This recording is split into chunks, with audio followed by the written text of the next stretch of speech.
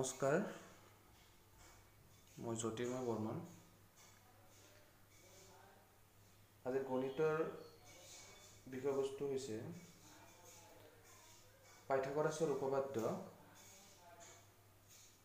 লগতে পাইথাগৰাছৰ উপপাদ্যৰ আমি বিপৰীত উপপাদ্যটো আলোচনা কৰিম। লগতে পাইথাগৰাছ ত্ৰিপলছ কি এই তিনিটা বস্তু আজি আমি ভিডিঅ'টোত আলোচনা কৰিম। আহক আমি বিষয়বস্তুৰ মাজলৈ যাওঁ। প্ৰথমে হৈছে পাইথাগৰাছৰ উপপাদ্য।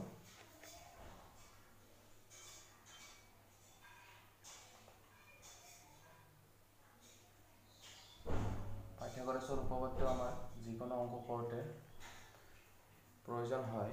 যেনেকৈ ত্ৰিভুজৰ কালি উলিয়াওঁতে প্ৰয়োজন হয়।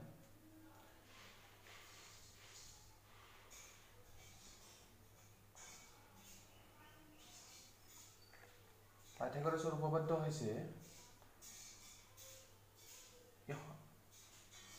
সমকোণী ত্ৰিভুজৰ ক্ষেত্ৰতে পাইথাগৰাছৰ উপপাদ্য ব্যৱহাৰ হয়।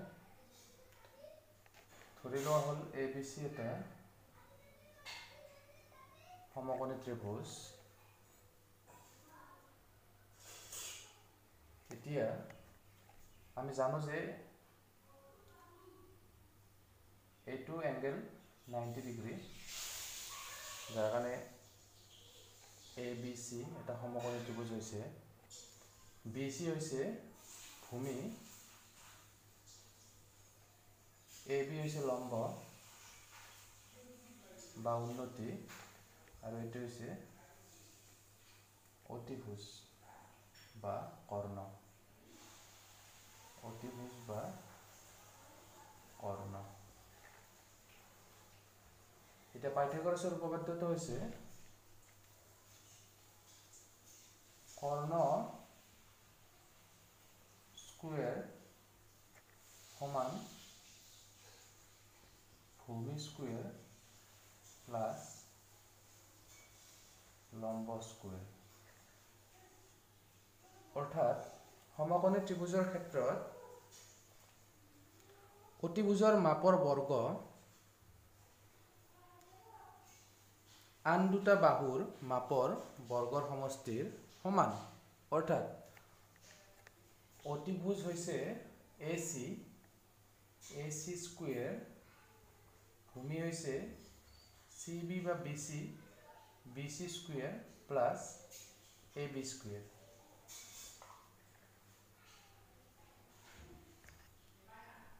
এতিয়া আমি পাইথাগৰাছৰ উপপাদ্যটো কি কেনেকৈ ক'ম? যে সমকোণী ত্ৰিভুজৰ অতিভুজ বা কৰ্ণৰ বৰ্গ যদি ত্ৰিভুজটোৰ আন দুটা বাহুৰ বৰ্গৰ সমষ্টিৰ সমান হয় তেতিয়া তাক কি ক'ম আমি? সমকোণী ত্ৰিভুজৰ ক্ষেত্ৰত পাইথাগৰাছৰ উপপাদ্য বুলি ক'ম। এইটো এতিয়া এই বাহুত বাহুটোৰ বৰ্গফল বৰ্গ ভূমিৰ বৰ্গ যোগ লম্বৰ বৰ্গৰ যোগফলৰ সমান হ'ব লাগিব। এইটো হৈছে পাইথাগৰাছৰ উপপাদ্য। এতিয়া পাইথাগৰাছৰ উপপাদ্যৰ বিপৰীত উপপাদ্যটো আমি আলোচনা কৰিম।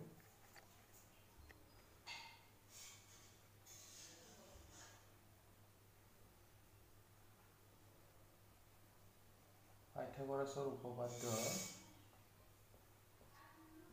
বিপৰীত উপপাদ্য। এতিয়া বিপৰীতটো কি হ'ব? আমি পাইথাগৰাছৰ উপপাদ্যটো পাইছিলোঁ যে অতিভুজ বা কৰ্ণৰ বৰ্গ সমকোণী ত্ৰিভুজটোৰ আন দুটা বাহুৰ বৰ্গৰ সমষ্টিৰ সমান হ'ব লাগিব। এতিয়া পাইথাগৰাছৰ উপপাদ্যৰ বিপৰীত উপপাদ্যটো হ'ব যদি যদি আমি এটা ত্ৰিভুজ ল'লোঁ সমকোণী ত্ৰিভুজ এটা ল'লোঁ পি কিউ আৰ। এতিয়া এই বাহুটোৰ বৰ্গ আৰু এই বাহুটোৰ বৰ্গৰ সমষ্টি যদি এইটো বাহুৰ বৰ্গৰ বৰ্গৰ সমান হয় তেতিয়াহ'লে আমি কি ক'ম? ত্ৰিভুজটো সমকোণী বুলি ক'ম। অৰ্থাৎ যদি ভূমি বা পি কিউ এই দুটা বাহুৰ সমষ্টি যদি এই পি আৰৰ বৰ্গৰ সমান হয় তেতিয়াহ'লে আমি ক'ম যে ত্ৰিভুজটো কি? পি কিউ আৰ ত্ৰিভুজটো। সমকোণী ত্ৰিভুজ। অৰ্থাৎ এটা কোণ নাইণ্টি ডিগ্ৰী হ'ব লাগিব। এতিয়া আমি ভাষাৰে ক'ব গ'লে কি ক'ম?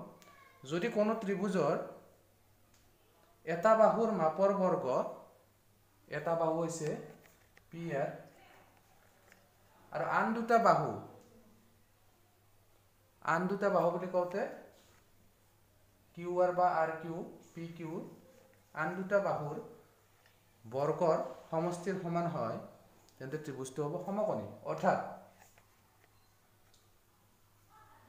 ত্ৰিভুজটোৰ আন দুটা বাহু হৈছে কিউ আৰ বা আৰ কিউ তাৰ বৰ্গ প্লাছ আন এটা বাহু হৈছে পি কিউ। পি কিউৰ বৰ্গ সমান যদি এই বাহুটোৰ পি আৰৰ বৰ্গৰ সমান হয় তেন্তে আমি কি ক'ম? যে এইটো ত্ৰিভুজ কি ক'ম? সমকোণী ত্ৰিভুজ হ'ব। পি কিউ আৰ এটা সমকোণী ত্ৰিভুজ হ'ব। এইটো হৈছে পাইথাগোৰাছৰ উপপাদ্যৰ বিপৰীত উপপাদ্য। এতিয়া আহিল পাইথাগোৰাছৰ ট্ৰিপলছ পাইথাগোৰাছৰ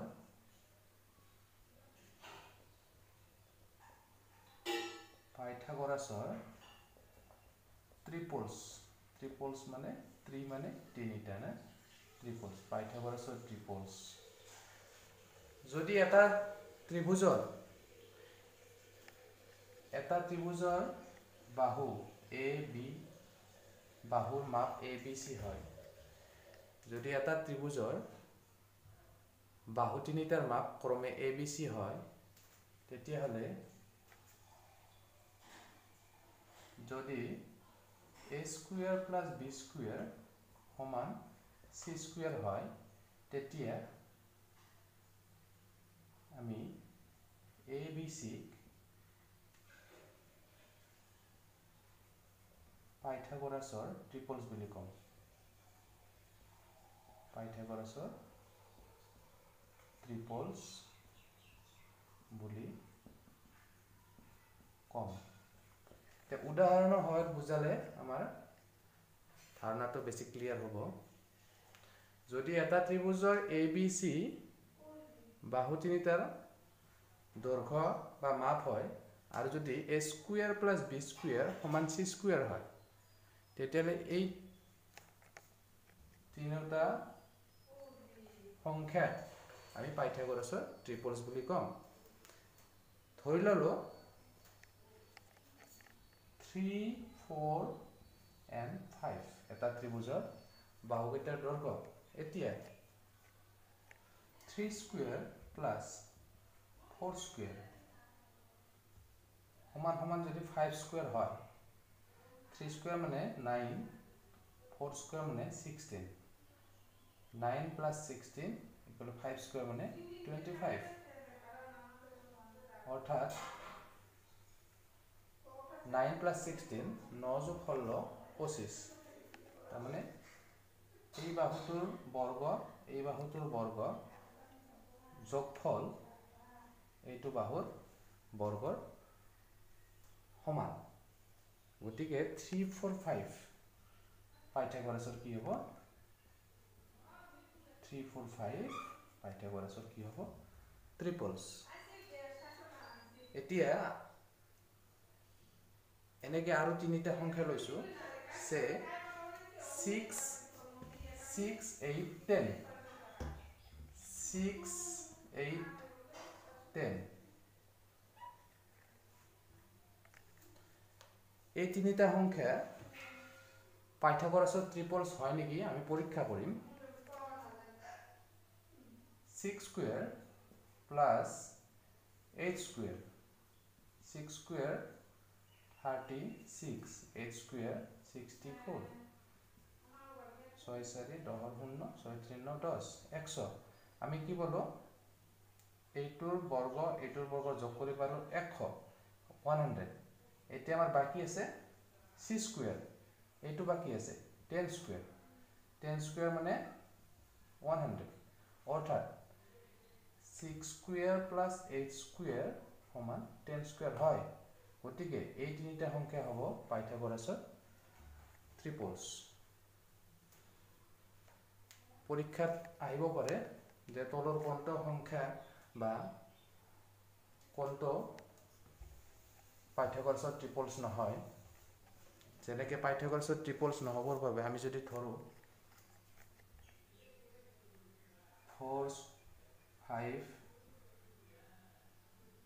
nine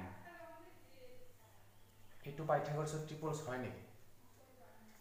Four square plus five square সমান nine square sixteen plus twenty five equal to nine nine square মানে eighty one six plus five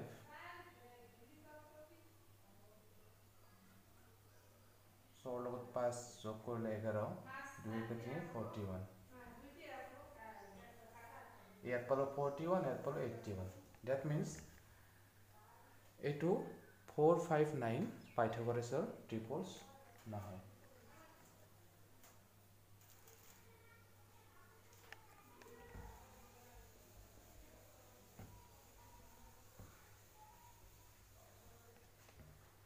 পাইথাগোৰাছৰ থিয়ৰিম বা সূত্ৰ আমি উপপাদ্য সমকোণী ত্ৰিভুজৰ ক্ষেত্ৰতে আমি প্ৰয়োগ কৰিম। আজিলৈ পাইথাগোৰাছৰ উপপাদ্যৰ বিষয়ে আজি ভিডিঅ'টোত অলপ শিকাবলৈ যত্ন কৰিলোঁ। ভাল লাগিলে ভিডিঅ'টো শ্বেয়াৰ কৰিব লাইক কৰিব আৰু এনেকৈ আৰু গণিতৰ বিষয়বস্তুবোৰ এনেকৈ ভিডিঅ'ৰ মাজেৰে আনিবলৈ চেষ্টা কৰিম তাৰ বাবে চেনেলটো ছাবস্ক্ৰাইব কৰিব বুলি আশা থাকিল। ধন্যবাদ।